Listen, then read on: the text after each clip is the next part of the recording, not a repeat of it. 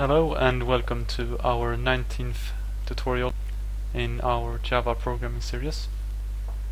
In this video I'm going to show you how we can draw images and certain shapes like a rectangle or a circle on top of your panels. It is not that hard to do, actually it's pretty easy. And I've gone ahead and done some basic stuff already. So I'm going to explain what I have done so far. Basically I set up a JFrame which we're going to use which basically is just a window like you should know now.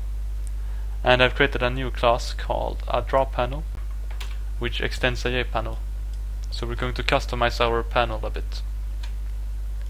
And basically we just added that panel on top of our frame and that's all we have done so far so our next step is to add an image on top of our panel, which, which we want to display at a certain position. First of all, we're going to create... Alright, so we're going to start by creating a class called image. Actually, we don't need to define it as a public. Actually, we don't need to define it at the start of the class. We can just do it inside of the constructor. So image icon, our image. Basically an image icon is something that can display an image. And if we attach it to, for example, a JLabel, it will display the image. So let's just call the image icon our image. And then we're setting our image equals to new image icon. Uh, let's see. Image io dot read and then new and a new file. And inside of these brackets we're going to type out the path to our image. So for example I'm going to make a path to my theater image. So I'm going to copy this part of the path file and paste it inside of here. Surround it with quotation marks. And then you need to change all of these lines into these ones So go ahead and do that. And then I need to add the name of the file too. So theater.png like that. Then we just need to import the file. And now we actually have to surround this with that try and catch statement.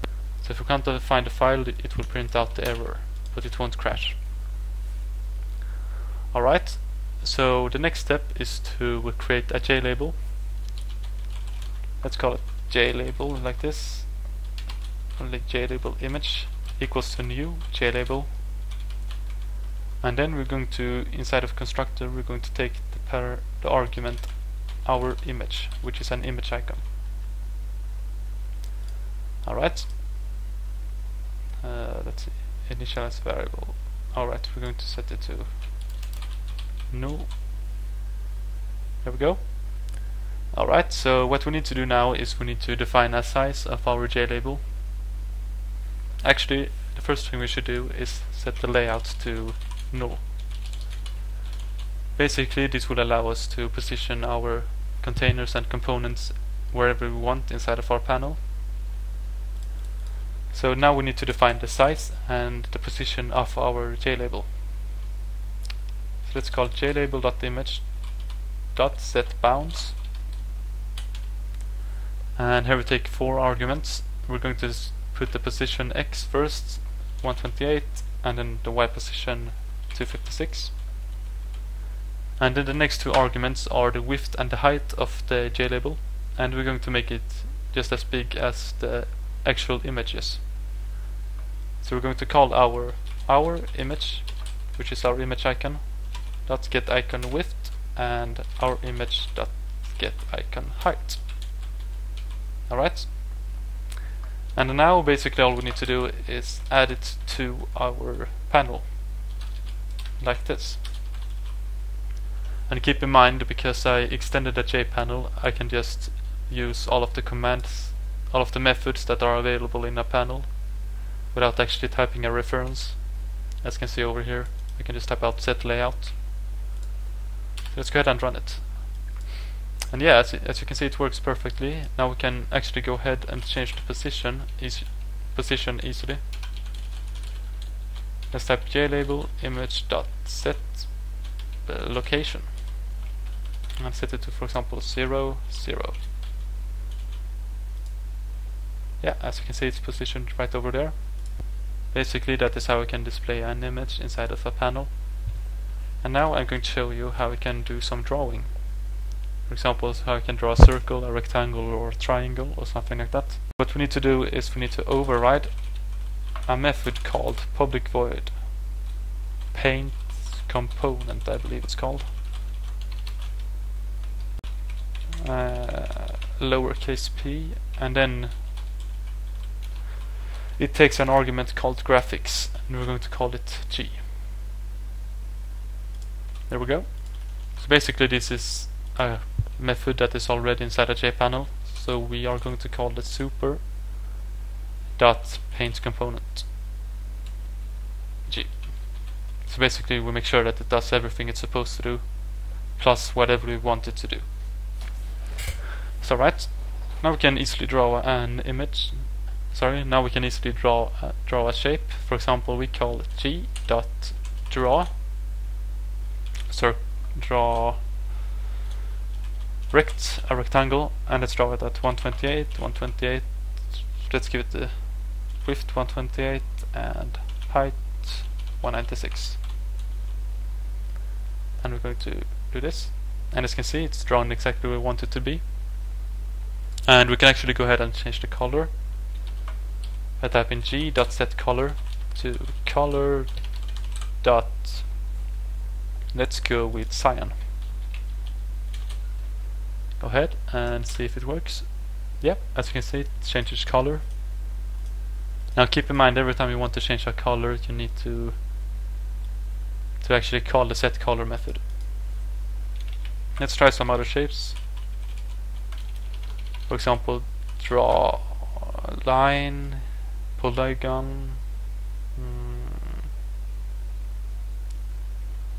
yeah let's let's draw let's just draw a line pretty basic so let's it for example 0 0 128 128 and we're going to see if it works yep Uh, yeah, it goes from there to there. Yeah, that's right. Just going to change the color to black.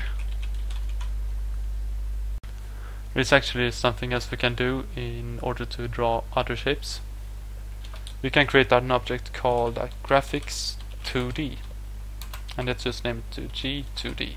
Alright, graphics 2D equals to graphics 2D. Basically this is called a typecast and basically that means that you convert one object to another so you can access different methods and such. I have not covered this yet so I'm going to go ahead and cover that in a later video. Basically right now you don't have to understand but I will explain it in a future video how typecasting works. So basically if you call it G2D you can see that we have some new methods clear rect, draw oval, for example, which will allow us to draw a circle. Actually, let's set it to... Yeah, that should work. And let's just let's just do this. There we go, and we're going to draw it. And as you can see, it's a perfect circle. And of course, it doesn't have to be a circle because we can just change the width or the height to make it an oval. So basically G2D, Graphics 2D will give you more options when you want to draw a shape. Let's see what more options we have. Round rect, I think we had that in uh, ordinary one. Oh yeah, you can see here we have uh, methods called fill rect, fill polygon and fill oval and basically this will fill in a rectangle. So for example if we take away this one, let's just copy the the arguments whoops and do this and we put them inside of our fill rect it is going to fill the entire space with the color that we have selected and let's change it to cyan so yeah if you want more advanced methods you have to go with graphics 2D and not the ordinary graphics uh, G graphics So yeah, that was all for this video. If you like my videos, please subscribe to the channel and give the videos a thumbs and give the videos a thumbs up and maybe share the videos. It would really help a lot. Once again, thank you for watching. Hopefully I will see you in the next video. Have a good day. Bye bye.